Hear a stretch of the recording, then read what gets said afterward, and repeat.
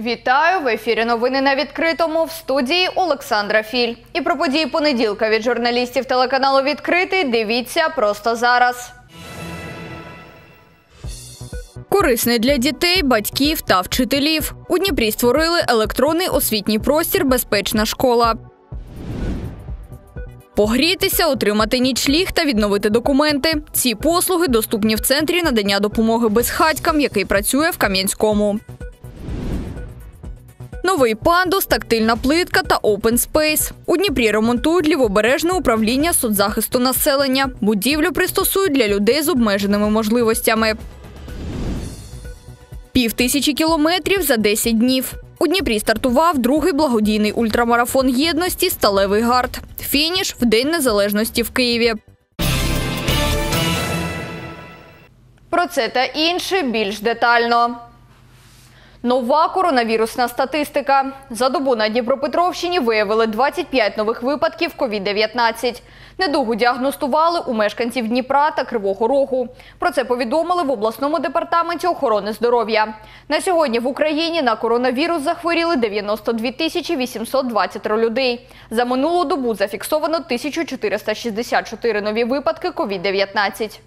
За минулий тиждень кількість госпіталізованих осіб складає 1991 особа, майже 2 тисячі.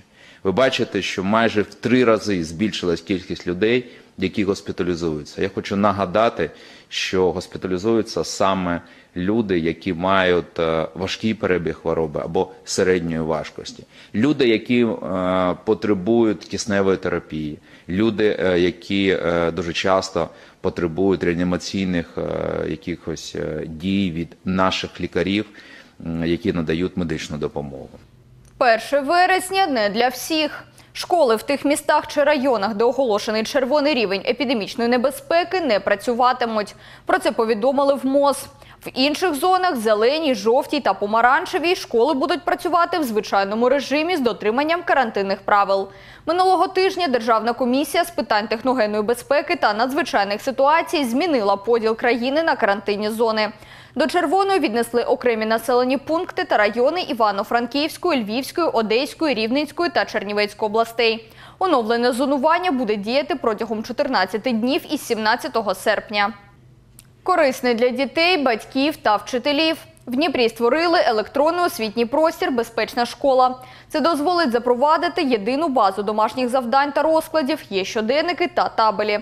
Такий спосіб шкільні процеси автоматизують. Крім того, школярі матимуть нові електронні квитки, які видаватимуть безкоштовно. З ними зможуть їздити безкоштовно в електротранспорті та матимуть 25% знижки в автобусах та маршрутках. Безпечна школа це також турнікети, камери відеоспостереження та охоронна сигналізація. В Дніпрі ці комплекси вже встановили в 38 закладах, ще 40 на черзі. Батьки зможуть оперативно стежити за відвідуванням дитиною через месенджери. Щоб мати всі ці переваги, слід зареєструватися на сайті Дніпро Смарт Можна звернутися і до школи та заповнити анкету.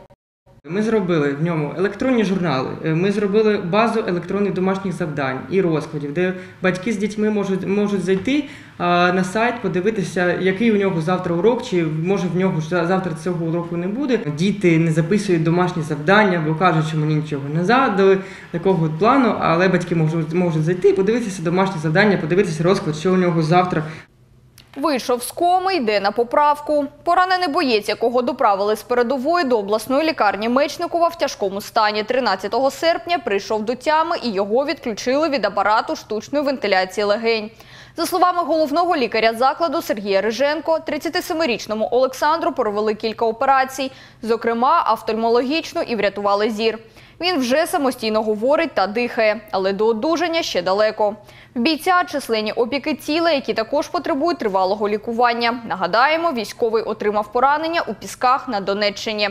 Разом з побратимом він їхав на авто, яке підірвалося на протитанковій міні. Побратим загинув, а Олександра доправили до Дніпра на лікування. Сашуль, привет. Да, да. Ты меня видишь обоими глазами? Вторым пулем обоим. Обоими. Ну и все. Это самое главное, потому что зрение это самое важное. Все, Сашуль, все. Езжайте на компьютер. Мы уже договорились со всеми.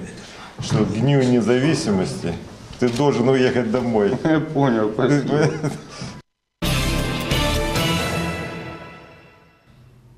На Дніпропетровщині на території сіл Миколаївка та Сурське Дніпровського району приватна компанія планує видобувати уран. Селяни та екологи б'ють на сполох. Кажуть, в селах немає централізованого водопостачання. Мешканці користуються водою зі свердловин. Якщо почнеться видобуток урану, то в землю потраплятиме сірчана кислота і розходитиметься ґрунтовими водами. Люди проти видобутку небезпечної речовини. Їх підтримала і обласна влада. На сесії облради відмінили рішення 2016 року про дозвіл на проведення дослідницьких робіт. Але селяни все одно побоюються, що роботи таки почнуть. В нас виникла дуже велика проблема в селі, тому що товариство Атомні енергетичні системи України е, повідомило нас 3 липня цього року, що про свій намір розпочати свою діяльність по видобутку урану. Е, Для кожної людини нормальної уран це ну, звучить як то страшно. Тим паче, що цей уран е, з, їхньої, з їхнього повідомлення вони планують видобувати на території е, наших двох сіл. питання об'єднало на всіх рівнях, всі громади, да? на всіх рівнях всі ради. І місцеву раду сільську, і обласну раду, і Верховну Раду. З свого боку на контролі це питання разом з міністром, відповідним профільним з охорони довкілля. Новий пандус, тактильна плитка та Open Space. В Дніпрі триває капремонт лівобережного управління соцзахисту населення. Будівля не знала ремонту майже півстоліття. Після завершення робіт простір буде пристосований для людей з обмеженими можливостями. Деталі в нашому сюжеті. У Дніпрі перебудовують управління соціального захисту, де раніше був дитсадочок. Тут планують облаштувати єдиний open space для зручності обслуговування людей з обмеженими можливостями. Крім того, управління обладнають спеціальними пристроями для людей з вадами слуху. Це планшети з програмним комплексом Connect Pro. З них людина може зателефонувати до єдиного кол-центру. Всередині будівлі будуть і туалети для осіб з інвалідністю, і будуть ем, маркування буде для осіб з інвалідністю, і е, як ширина простору розрахована з тим, щоб е, особи з інвалідністю безперешкодно е, рухалися між столами спеціалістів. Всередині облаштують тактильну плитку та зроблять сучасні просторі туалети з пеленальними столиками. А зовні планують облаштувати новий пандус та зроблять нижчими бордюрний камінь. Пандус будет э, с углом разворота э, к 1,8-градусный, 1 к 12. э, Высота крыльца, то есть высота пандуса соответствовать будет высоте крыльца, просто угол будет везде 8 градусов. Ну, максимально допустимый. На сьогодні в індустріальному районі Дніпра мешкає майже півтори тисячі людей з інвалідністю. З них 255 пересуваються у візочку, 107 з вадами зору та 86 з вадами слуху. Вони сподіваються, після ремонту до будівлі буде дістатися набагато легше. Конечно, будет зру- зручно и, думаю, будет более распределено все, очереди будут проходить быстрее, места больше будет, где будут находиться пенсионеры, инвалиды, так как люди пожилого возраста, им нужно больше воздуха, и где присесть, и также подняться по ступенькам, чтобы было это все зручно, удобно. Кошти на ремонт центру виділяють з міського бюджету. Роботи обіцяють завершити цьогоріч. Вікторія Вахрушина, Олександр Вернегоров, Open News, телеканал відкритий. Погрітися, отримати нічліг, поїсти, відновити документи та навіть знайти роботу. Весь цей спектр послуг у центрі надання допомоги безхатькам, який працює в Кам'янському. Протягом року заклад обслуговує майже тисячу нужденних з різних куточків області. Більше знає наша Вікторія Вахрушина. У Кам'янському працює центр обслуговування бездомних. Сюди можуть звернутися безпритульні з усієї Дніпропетровщини, які потребують допомоги. Володимир вже рік як підопічний центру. У нього складна доля. Залишився без даху над головою і знайшов нове пристанище на міському вокзалі. Там і знайшли його соцпрацівники без речей та документів. Это л- намного лучше, чем на вокзале. Во-первых, и помыться можно, постираться. Там от этих услуг не было. Тут, пожалуйста, горячая вода, все. Крім людей, що без даху над головою, у центрі опікуються тими, хто нещодавно повернувся з місць позбавлення волі. Їм допомагають соціалізуватися та знайти роботу. Пан Юрій уже в центрі понад рік. Йому надали притулок, відновили документи та допомогли отримати пенсію. Восстановили мне документы в этом ночлежном пункте. Дают ночевать. Питание э, раз в день, ну как в сутки дают. Так що живемо, слава Богу. У центрі нужденним надають пакет послуг, і все це безкоштовно. Иногда человек и прописки нет, и жить негде, и надо оформить инвалидность. И еще и четвертый вопрос, он никому не нужен, никого родных и близких нет, ему нужно попасть в дом-интернат. Это уже комплексная проблема, и мы по просьбе этого человека начинаем делать его вот реабилитацию по всем вопросам. У закладі нужденні проходять медичний огляд та спілкуються із психологом. Большинство к нам приходит за помощью, но в основном, конечно, они хотят поддержки, они хотят получить э, моральную поддержку и понять, что они не э, выброшены на улицу полностью, что с ними хотят общаться, что они социализируемы, что они нужны обществу. Центр для безхатніх працює цілодобово. Тут шість палат, можна заночувати, прийняти душ, пообідати, у кімнаті відпочинку переглянути телевізор. У планах відкрити на території центру санітарний блок, де безхатьки зможуть попрати речі. В прошлом году мы обслужили 680 человек. Э, На данный момент у нас получается в отделении учета бездомных лиц 148 человек, 38 это вот за полугодие 2020 года. 38 человек смогли возможность получить документы, паспорта восстановить граждан Украины. Это уже новые формы, ID-формы. Они по-своему упрощают жизнь людям. Щороку на забезпечення закладу з міського бюджету виділяють майже 3 мільйони гривень. Вікторія Вахрушина, Денис Крикус, Open News, телеканал «Відкритий». Породисті, й вуличні, здорові й кволі, щасливі, безпорадні. Всі тварини заслуговують на увагу та турботу. Ще одне нагадування про це – Міжнародний день безпритульних тварин, який відзначають у другій декаді серпня. Свято виникло у 1992 році за ініціативи Міжнародного товариства справ тварин. Відзначається в більш ніж 50 країнах на шести континентах. І поки одні перетворюють чотирилапих друзів на безхатьків, інші забирають їх з вулиці та дають шанс на нове життя. Як в Дніпрі допомагають безпритульним собакам та кішкам, далі в сюжеті.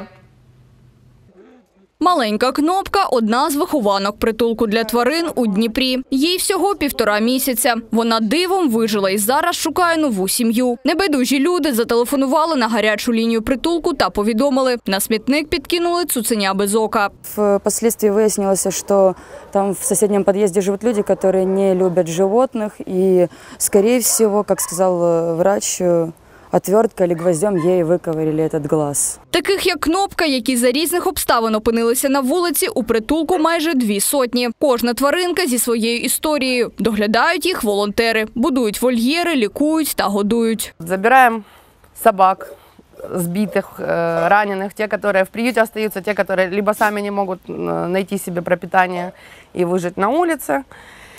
То есть к нам и здоровые попадают, если щенков вовремя не отдадим, не пристроим, то они вырастают, и мы, но они пристраиваются. А вот эти вот инвалиды, они зависают в приюте, ну и, к сожалению, остаются надолго, если не навсегда. Безпритульними тваринами у Дніпрі опікується і комунальне підприємство «Зооконтроль». Тут надають екстрену медичну допомогу тваринам, отруєним чи покаліченим. Тих цуциків та кошенят, в яких здоров'я дуже, відловлюють, стерилізують, вакцинують від сказу та намагаються знайти їм родини. Якщо ж новими господарями не везе, тваринці кріплять на вухо кольорову кліпсу та випускають на волю. Если вы видите, что животное без клипсы, вы можете обратиться к нам э, по номеру 098 172 85 99, дать заявку, и животное ребята приедут, отловщики, и заберут на стерилизацию, вакцинацию. В зооконтролі кажуть, протягом останніх трьох років кількість безпритульних собак у Дніпрі зменшилась вдвічі – з 5 тисяч до 2500. Фахівці переконані, аби зовсім мінімізувати чисельність вухастих та хвостатих на вулицях, достатньо ділитися з ними добротою та проявляти турботу. У відповідь вони обов'язково віддячать тим же.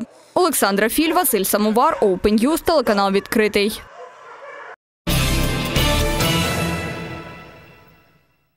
Дніпропетровська область національний лідер зі збору ранніх зернових. У засіках майже 3 мільйони тонн. Якими були цьогорічні показники врожайності? Чи позначилися на них погодні умови та чи будемо з хлібом? В студії відкритого розповість голова Асоціації фермерів Дніпропетровської області Анатолій Гайворонський. Добрий день. Вітаємо вас, Анатолій. Розкажіть нам, будь ласка, які саме культури збирають на Дніпропетровщині? В основному такі культури, як озимі пшениця, озимий ячмінь, значить, озимий ріпак, кукуруза, соняшник. Це ті культури, які, е, так сказати, в силу кліматичних умов родять у нас в Дніпропетровській області. А скільки вже в засіках та чи буде область з хлібом? Ну, скажу вам, що голоду не буде. Зерна достатньо для того, для е, продовольственної безпеки в області і по Україні. О, безумовно, урожай в цьому році е, трошки нижчий, ніж був у прошлому році, десь відсотків на 15-20, тому що е, кліматичні умови позначились на врожайності сільськогосподарських культур, на тій самій озимій пшениці, тому що були, по-перше, заморозки сильні, а по-друге, Значить, засуха, яка була, у нас недостатньо було опадів е, весняних. Таким чином і урожайність трошки нижча. А чи вплине це якось на роботу фермерських господарств? Можливо, завадить реалізації якихось планів? Ну, безумовно, фермери не получать е, того прибутку, які, на який розраховували, тому що все-таки 15-20% це существенно, так сказати, ну, збиток для фермерів. Але ж е, це позначиться на тому, що якийсь фермер там не купить ту техніку, яку він хотів купити. Можливо, там е, не підніме оренду плату, там, можливо, там премії не віддасть своїм робочим, тому що ну, не буде за що. А в принципі, ну, цього врожаю, який обрали, ну, достатньо для того, щоб можна було е, построїти свою так економіку, щоб вижити і дійти до слідуючого року, війти посівну кампанію. Трейдери обіцяють підвищення цін на зернові культури. Чого очікувати цього сезону і чи позначиться це на ціні на хліб? Ну, ви знаєте, вони обіцяли повисити ціну, але ж на самом ділі вони її понижають. Да, зразу ціна була вроді би нічого, почали пшеничку купляти по хорошій ціні, е, потім виконали свої контракти. Зараз ми бачимо, що ціна е, з кожним днем все нижче і нижче. Коли сказали, що в цьому році Україна збере більше 100 мільйонів тонн зернових. Це невірна інформація. Ця інформація завжди запускається перед збором урожаю для того, щоб збити ціну. Таким чином, трейдери виконали свої контракти і тепер їм спішить нікуди. Вони понизили ціну і ждуть тепер, е, поки ціна знизиться, щоб закупити останнє збіжжя і продати по більш дорогих цінах. Вони будуть у прибутках. Трейдери завжди в прибутках. А які культури ми будемо збирати у вересні? У вересні будемо збирати пізні культури, е, ту саму кукурузу, соняшник, значить, просо, в кого вона є. Але я скажу, що види на врожай не такі вже високі. От я проїхав із Дніпропетровської області до Києва, то я не бачив хорошої кукурузи. Кукуруза в пригніченому стані, зараз вже засихає. Значить, е, на деяких полях я бачив, що не були створені початки, тобто ну, вона навіть не образувала початки, тому що в силу погодних умов недостатньо було вологи, велика спека і так далі. Соняшник теж в пригніченому стані, зараз в стресовому стані. І таким чином на врожай на високий е, розраховувати не можна. А коли розпочнуть засівати озимі, скільки зерна планують вкинути в землю? Ми будемо ждати вологи, в суху землю сіяти ніхто не буде. З 10 вересня, я думаю, почнеться посівна кампанія. Залажується е, десь, е, наприклад, ну, для посіва 200 тисяч тонн. Це якби е, такий той безпековий рівень е, озимої пшениці, який ми залажуємо для того, щоб війти посівну кампанію. Зараз же ж немає таких планів, як е, раніше було. Зараз кожен фермер е, собі определяє, допустимо, ту площадь, яку треба засіяти. І що він хоче посіяти. А розкажіть, які зараз фермерів є проблеми? У нас зараз такі проблеми. Ми е, деякі фермери не можуть реалізувати свою продукцію. Не можуть реалізувати свою продукцію в силу тому, що їм не реєструють податкові накладні. У нас на даний час по Дніпропетровській області 49 фермерських господарств. Це тільки фермерських господарств, яким заблоковані податкові наклади. Це таке негативне явище, ну, яке от е, буквально тільки в цьому році появилось, тому що раніше такого не було. Ну, ми не знали, що таке, як це можна заблокувати накладну. Ви розумієте чи ні? А що таке е, податкову накладу заблокували? Значить, це фермер недополучить 20% свого прибутку. Добре, дякуємо, що завітали на відкритий. Сьогодні у студії був Анатолій Гайворонський, голова Асоціації фермерів Дніпропетровщини. Говорили про врожай 2020 року. Опинитися в минулому без машини часу. В Дніпрі відкрився новий музей, де можна побачити ретроавтівки, мотоцикли, іграшки та безліч інших атрибутів минулих століть. Де можна поринути в історію, дізнавалася наша Марія Требушенко. Сьогодні у Дніпрі відкрив двері ще один ретро-музей. У ньому 40 видів техніки. Найстаріша 20-х років минулого століття. Дніпрянин Олексій Прокоф'єв збирав експонати понад 10 років. Каже, пристрасть до ретроавто успадкував від батька, який також цим захоплювався. Помимо автомобиля есть э, очень много предметов старины и старинных, старых, по-разному сказать. Есть документы старые, царская империя, российская, не только царская империя. Э, Достались тоже разным путем, обменом, покупки здесь, за границей. Олексій каже, спочатку просто колекціонував речі та авто, збирав їх у себе в гаражі. А коли місця стало бракувати, вирішив створити музей. Усі експонати збирав власноруч. Одні привозив з Європи, інші купував на облошених ринках, треті знаходив в антикварних крамницях. Это история. То есть вы заходите сюда, это полностью история, то, что было, ну, может быть, не в вашем детстве, да, но наверняка в детстве ваших родителей. То есть та же самая коляска детская, те же самые велосипеды, машинки, все остальное, это все из детства, да, это прошлое. У музеї машини як вітчизняного, так і іноземного автопрому. Там можна побачити як BMW Dixie та ДКВ, так і добре відомий Москвич 400. Кожна річ має власну історію. Э, Сзади в этом автомобиле есть тещиное место. Что такое тещиное место? Сейчас я вам покажу. Это открывается два крючочка, вот, поднимается люк, и там есть сиденье. Данной вариации сиденья мы здесь не сделали, но место это оригинальное и полностью сохраненное. Зануритися у минуле можна по буднях з 11 до 17. Квиток 100 гривень. Приймаються групові замовлення.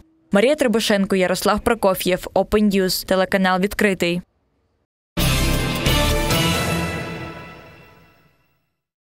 Легкоатлетка з Дніпра Ярослава Магучих стала чемпіонкою діамантової ліги в Монако. Вона виграла перший етап змагань. Про це повідомляє Федерація легкоатлетики Дніпропетровської області. Магучих подолала планку в 1 метр 98 сантиметрів, обійшовши киянку Юлію Левченко.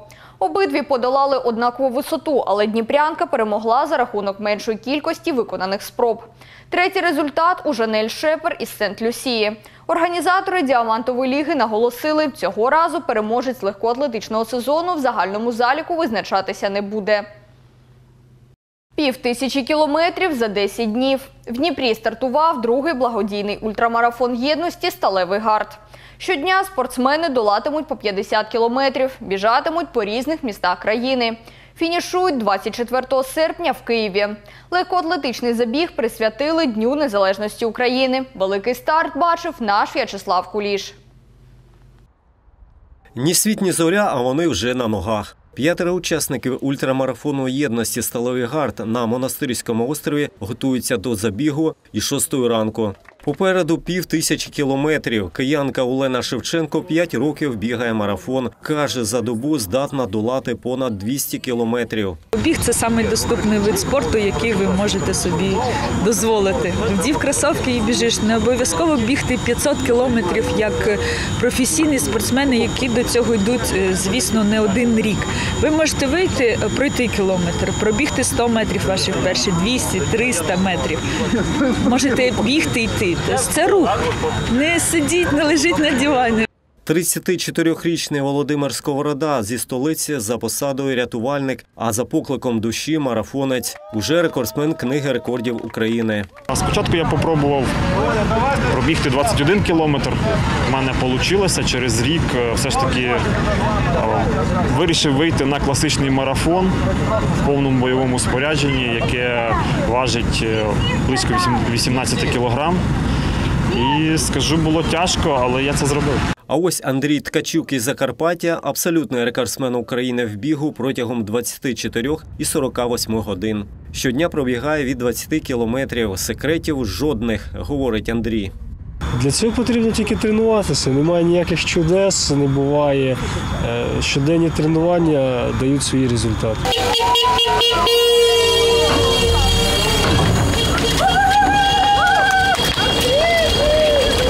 Старт о сьомій ранку. Бігуни вирушають у путь. За 10 днів вони мають подолати 500 кілометрів. На їхньому шляху Кам'янське, Кременчук, Світловодськ, Чигирин, Черкаси, Канів, Трипілля.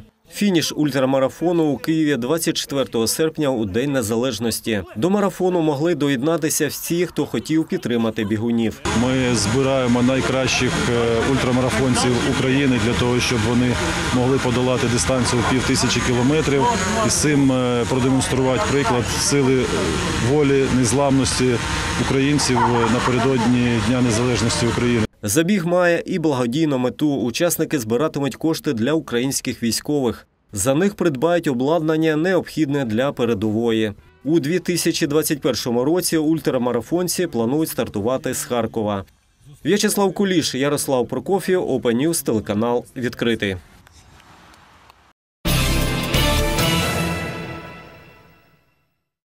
Знову спека. Після тижня злив та прохолоди, коли стопчик термометра опускався вночі до 10 градусів тепла, до Дніпра знову повертається жара. За прогнозами синоптиків, погода буде літньою до кінця вересня. Цього тижня температура повітря навіть вище серпневої норми. Опадів не очікується. Температура повітря поступово підвищиться і буде становити вночі 12-19, в день 27-32. Упродовж тижня із-за відсутності опадів високих температур і низької вологості повітря утримується висока надзвичайна 5 класу пожежна небезпека. Нехай останні тижні літа будуть насичені яскравими та позитивними емоціями. Залишайтесь відкритим і до зустрічі в наступному ефірі.